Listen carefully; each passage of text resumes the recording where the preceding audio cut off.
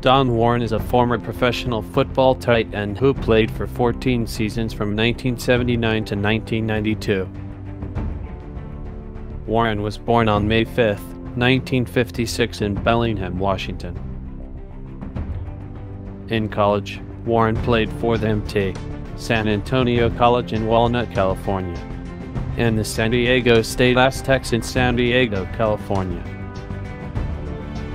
Warren was drafted by the Washington Redskins in 1979 in the fourth round as the 103rd overall pick. Over 14 seasons, Warren played for the Washington Redskins. His first and only team was the Washington Redskins from 1979 to 1992. Here are some highlights from his 14 years with the Washington Redskins. In 1983, he won the Super Bowl championship. In 1988, he won the Super Bowl championship. In 1992, he won the Super Bowl championship. He was named 70 Greatest Redskins